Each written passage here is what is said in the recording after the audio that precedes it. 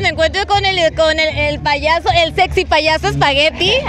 y estamos en la zona VIP, señores. Pues miren, no sé la verdad si son stripper o son jinetes. Tengo esa gran duda. que vamos a pasar por acá, miren. Miren, miren, miren, luego cómo se ponen. Mira cómo se ponen el tubo y luego ve nomás.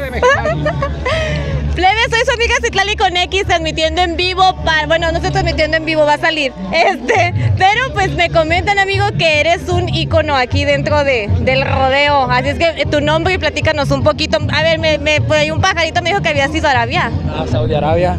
Así es, fui a representar a México.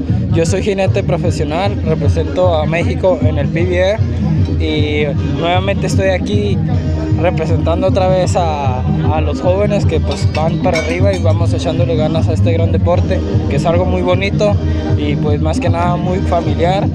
Y ahora que estamos aquí en Rancho Guadalajara, pues quiero, quiero estar agradecido con ellos por la invitación que me dieron para poder estar aquí y aquí con mis nuevos amigos que hemos estado pues creciendo en esto del evento conforme jóvenes a, a pues, personas más grandes Claro. y claro que todo esto va creciendo y pues yo he estado en Saudi Arabia duré duré un mes completo en Saudi Arabia en- y, obtuve su- subcampeón. Después me fui a, a Estados Unidos estuve representando a México y fui al Global Cup donde estuve con el equipo mexicano.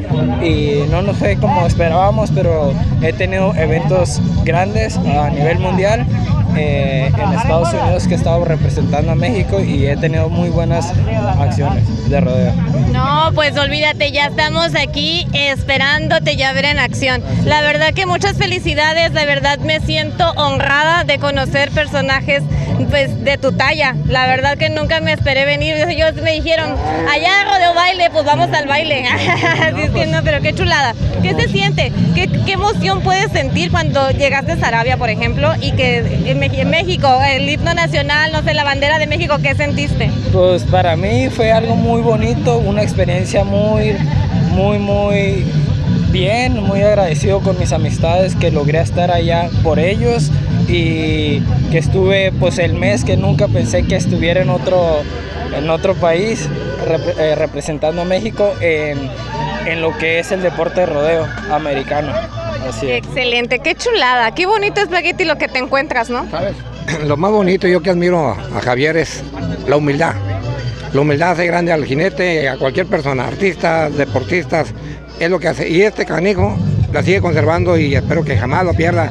Es un camarada que donde me quiera me saluda y, y eso es lo bonito, que una persona, a pesar de estar en un nivel de competencia alto, no olvide de dónde venimos, de dónde venimos, eso es lo principal. Cualquier jinete, cualquier jinete. Y hay varios, varios aquí en la baja que están representando muy bien a México en los Estados Unidos y a nivel internacional.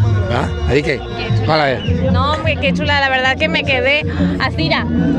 porque de verdad que, este, no, bueno, yo no me esperaba, la verdad, desconozco todavía lo que es el rodeo en mi tierra, y por eso estamos aquí, porque queremos darle a conocer también a la plebada lo que hay en Baja California. Muchísimas gracias por tu tiempo, por esta pequeña entrevista, y esperemos estar en contacto para ampliar un poquito más el tema y que nos empapes más, este, porque la gente debe de saber, a veces lo vemos en la televisión y ni siquiera sabemos, ¿no?, que son mexicanos, ¿no? Entonces, este, pues para eh, profundizar un poquito más, imagínate una tarde soleada, el espagueti, tú y yo.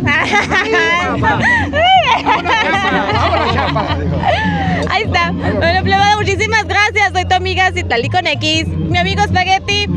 Y Javier García. Esto. Muchas gracias.